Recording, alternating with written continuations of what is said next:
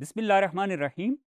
Last lecture में हमने discuss किया कि what are the costs of inflation and specifically we focused on cost of expected inflation अब हम उस टॉपिक को कंटिन्यू करेंगे, लेकिन इस लेक्चर के अंदर एक तो मैं अनएक्सपेक्टेड इन्फ्लेशन का भी कॉस्ट बीच में डिस्कस करूँगा और फिर साथ ही इन्फ्लेशन के कुछ पॉजिटिव एस्पेक्ट्स भी हैं तो वो भी मैं स्टार्ट कर लूँगा और फिर नेक्स्ट लेक्चर में जो है वो हम पॉजिटिव जो साइड है इन्फ्लेशन की, वो कंटिन्यू करेंगे।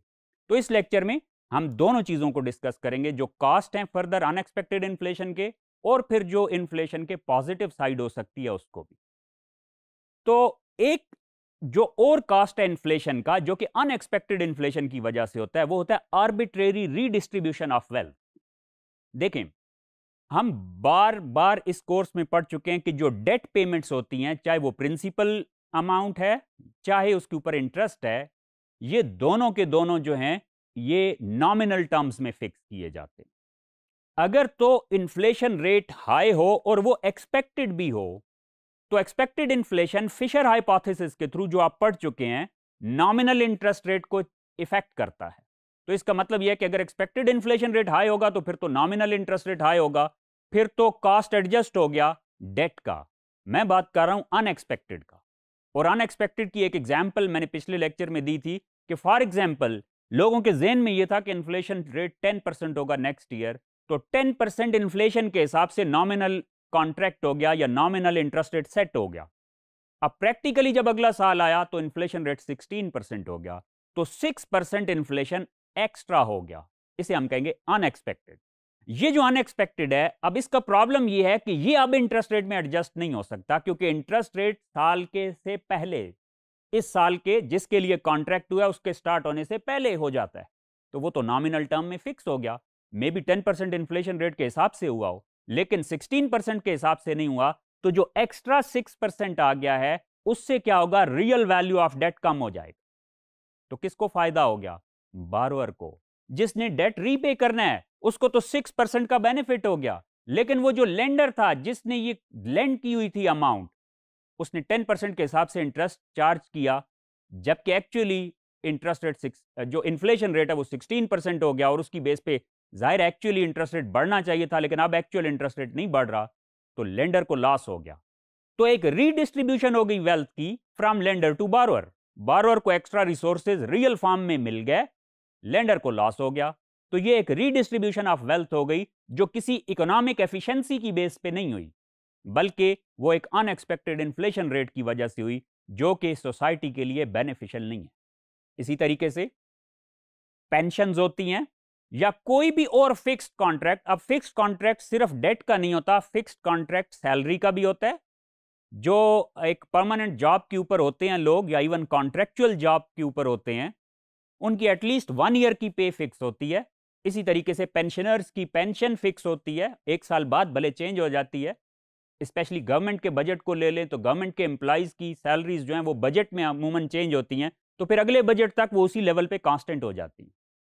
अब जब एक साल इन्फ्लेशन की एक्सपेक्टेशन लेते हुए इनकम बढ़ाई जाती है, जब एक्चुअल इन्फ्लेशन उससे ज़्यादा हो जाता है तो जो जिनकी सैलरी है या जिनकी पेंशन नॉमिनल टर्म में फिक्स है, उनकी परचेजिंग पावर कम हो जाती है। इसकी एक स्पेसिफिक एग्ज़ाम्पल हम 2023 की ले सकते हैं।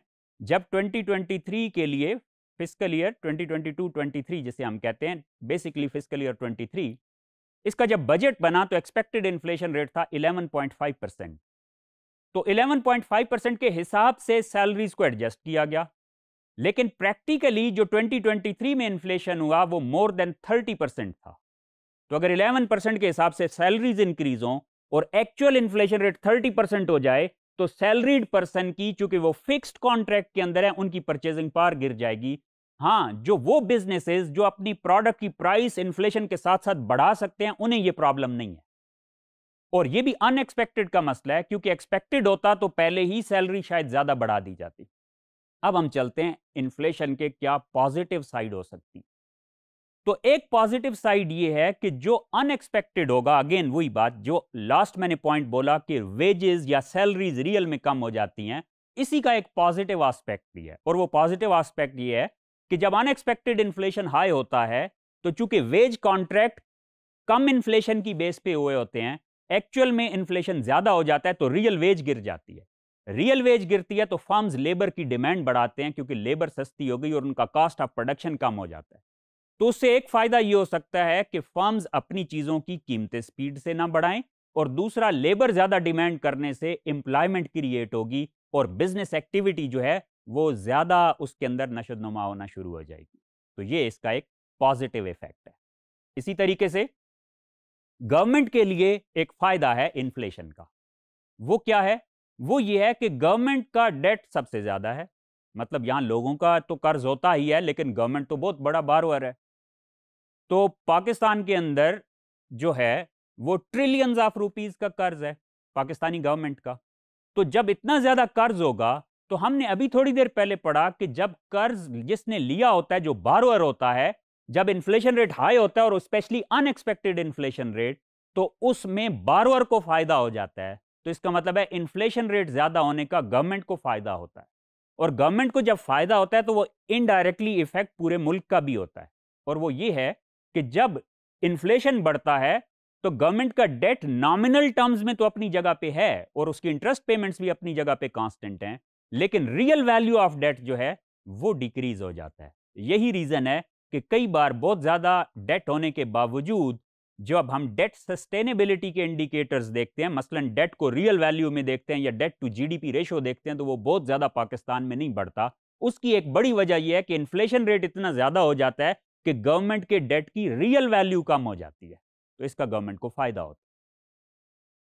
इसी तरीके से जो डिमांड पुल इन्फ्लेशन होता है, डिमांड पुल, यानी कि जो डिमांड ज़्यादा होने की वजह से होता है, जिसको हम बाद में डिटेल में भी डिस्कस करेंगे तो जब एग्रीगेट डिमांड ज़्यादा हो गई, उस वजह से ज़्यादा हुआ, उसका फ़ायदा ये है कि जब वो डिमांड पुल इन्फ्लेशन ज़्यादा हो तो जो प्रोड्यूसर्स हैं उनकी ये एंटीसिपेशन होती है कि अब बिज़नेस ज़्यादा चले, उसकी वजह से जो है, वो ज़्यादा प्रोडक्शन स्टार्ट कर देते हैं और प्राइसेस को इवन कंज्यूमर्स पे पास ऑन भी करते हैं। लेकिन चूँकि कंज्यूमर्स ही की तो डिमांड ज़्यादा है, वो ज़्यादा प्राइस देने के लिए भी विलिंग हो जाते हैं तो बिज़नेस एक्टिविटी ज़्यादा चल पड़ती है।